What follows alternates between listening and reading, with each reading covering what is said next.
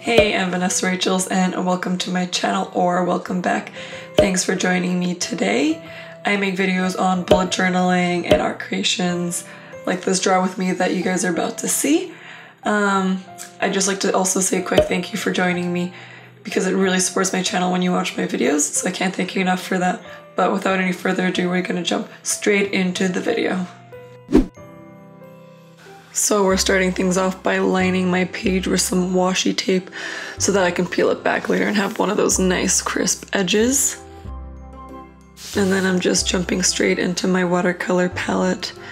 And my watercolor palette isn't anything fancy, it's just kind of a cheaper one, but it works really great for what I want to use it for, so it's a great like budget watercolor, I would say.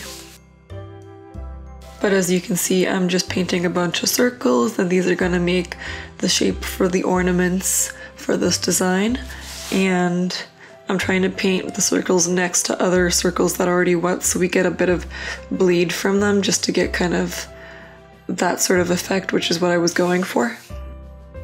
And then essentially, as you can see, we just flipped the whole entire page with these circles. I decided to do ones that were of similar size, but if you want to recreate this, you can always, you know, do different sizes of circles and then you'll get a different look. That will probably still look real nice. Next, I decided to jump into drawing and creating the design on top of the ornaments. So I decided to use inks and I used a gold and silver ink. I went in with the gold ink first and they are the Winsor and Newton inks and I just kept the designs on top of the ornaments super simple with just four different designs and I did that with both the gold and the silver just stuck to those four same designs and put it on every single one of the ornaments. And I'm really happy with how the designs on top of the ornaments turned out. I think it looks really cute and because it's like a pattern even if you mess up a little bit somewhere because you stick to the same sort of design, you can't really notice it and it just looks real nice and cohesive as a whole.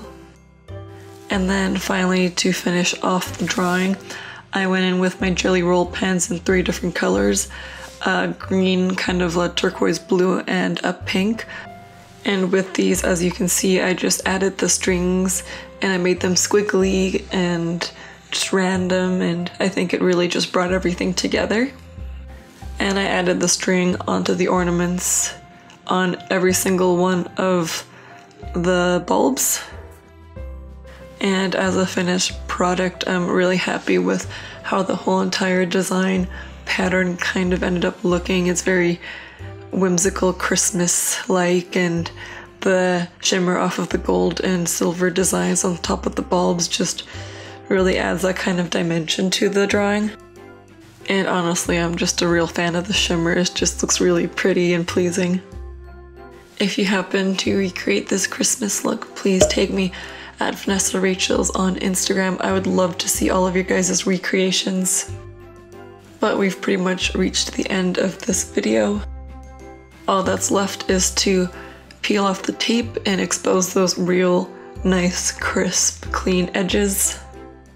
Anyways, I had a lot of fun creating this look. It really got me in the Christmas spirit. I hope it helped you also get in the Christmas spirit. I hope you also enjoyed this video as much as I enjoyed making it. And as always, thanks for joining me and watching my video. And come say hi in the comments down below and leave me any feedback as well if you have any.